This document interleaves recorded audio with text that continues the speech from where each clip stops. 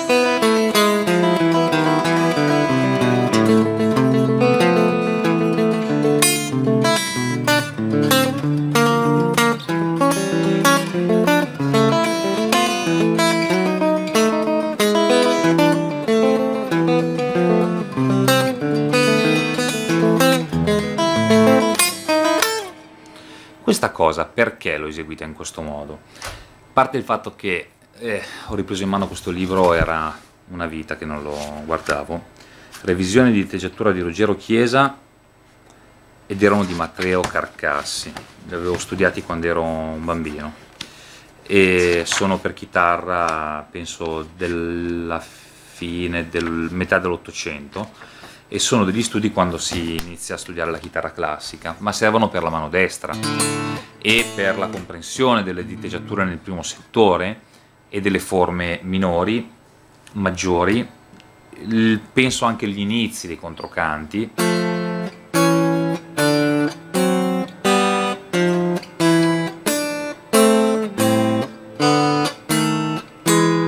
Però al di là di questo, nel senso armonicamente non mi è mai stato spiegato una mazza, ho compreso molto di più da altre cose, a meno che tu non faccia, credo, un corso di eh, maestro, eh, direttore, compositore. Però al di là di questo, non è adesso questo l'argomento della questione, anche perché l'abbiamo analizzata la settimana scorsa quando eravamo a Milano e con Roberto anche qui magari a Mantova, quello a cui noi eh, volevamo fare riferimento era lo skipping della, del salto, quindi della corda, in questo caso nel primo settore, per cui di questo.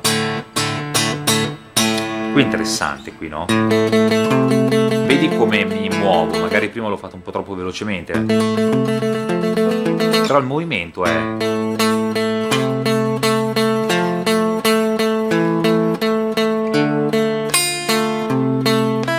Devo leggere perché leggerlo. Tra l'altro dopo l'ho posto sul blog, anche se i miei studenti ce lo hanno.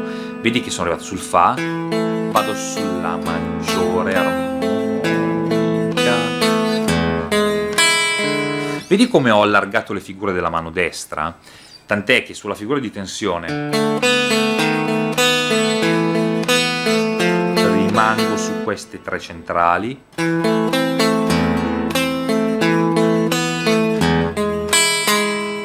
devo essere molto pulito e definito.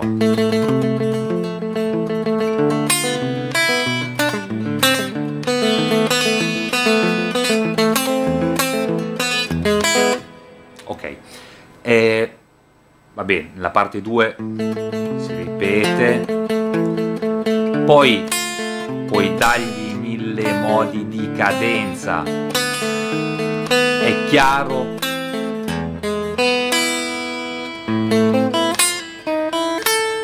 che però essendo sempre sedicesimi in quartina sarà sempre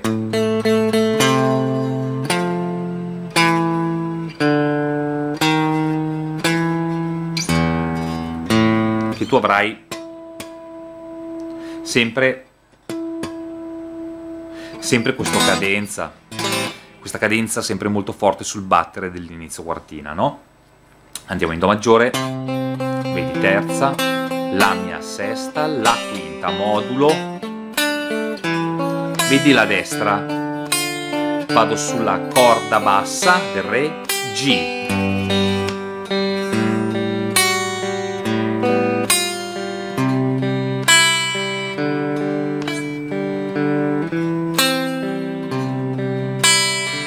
Queste sono sicuramente le più ostiche da fare con il plettro, perché insomma Qui non è una questione, e sono nate per farle con la destra, tant'è che proprio eh, viene indicato sullo spartito. Eh, mi spiace per chi non sa leggere perché non trascriverò questa parte perché diventa troppo laborioso e una perdita di tempo.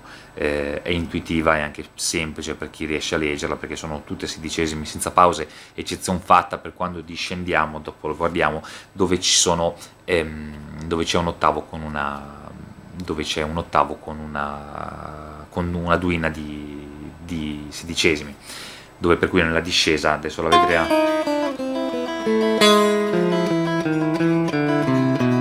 e si sente, no? per cui se non la sai leggere eh, la comprendi da come la eseguo, però ti devi un attimino arrangiare.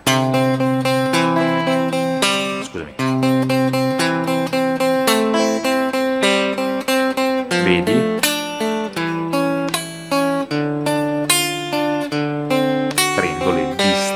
Sé sul basso. Muovo. Ok per cui facciamolo un attimino.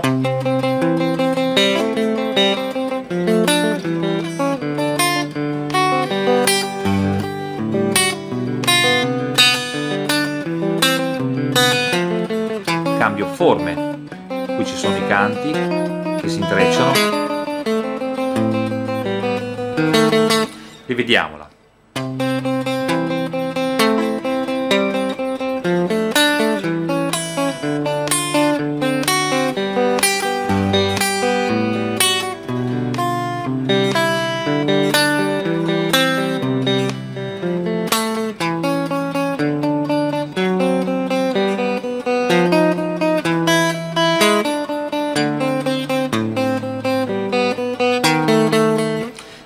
dal Do, lo facciamo ancora insieme.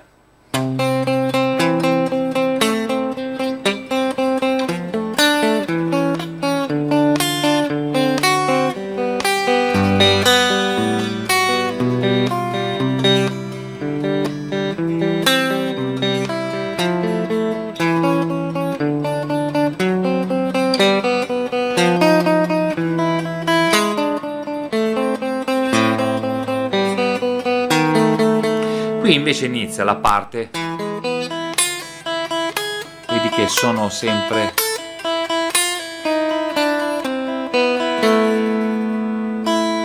Ok, per cui ci sono queste quartine in sequenza, partiamo dal Mi.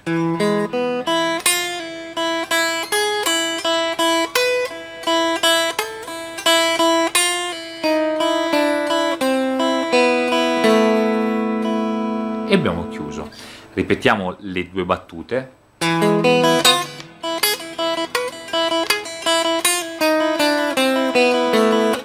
Ok? Come suona? Ripete una, due, tre, quattro battute messe insieme. Alla quinta discendiamo con questa eh, ottava con la duina attaccata. 3, 4.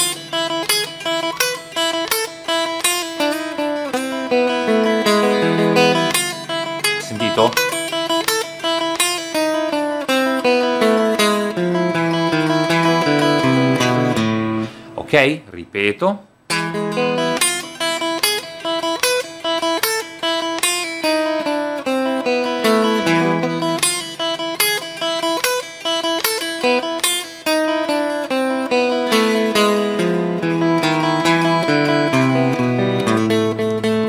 Riparte.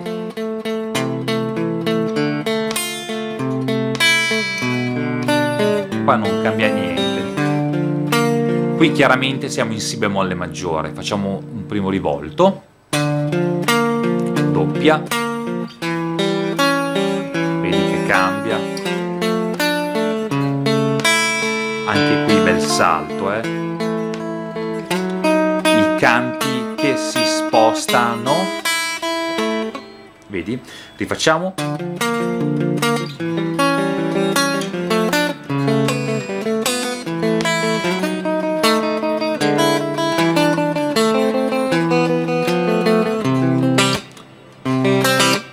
Riascoltiamoli bene, 3, 4...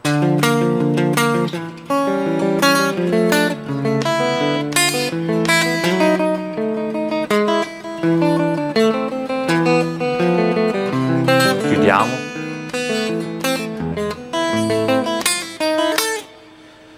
La frase, l'ultima, come quella che c'era alla fine, diventa così.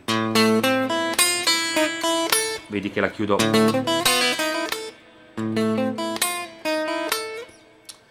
Buono studio.